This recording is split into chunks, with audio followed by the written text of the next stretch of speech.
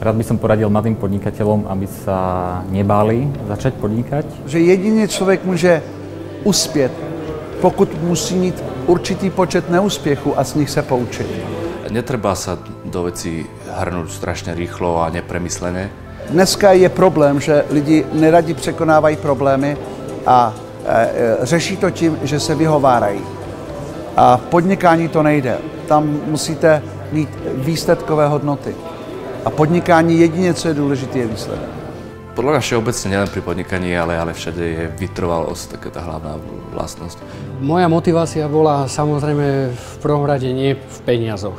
Ja som toho názoru, že keď je nejaké rozhodnutie, tak je lepšie si nechať nejaký ten čas a ne, nepovedať možno okamžite alebo nerozhodnúť sa okamžite, ale, ale porozprávať sa s čo najviac s ľuďmi a zvalidovať myšlienku. Ale hlavne nech si to užijú, lebo 60% svojho času budú venovať v práci, tak nech to stojí proste za to a nech majú ten vnútorný pocit, že robia to, čo ich baví. To je základ všetkého.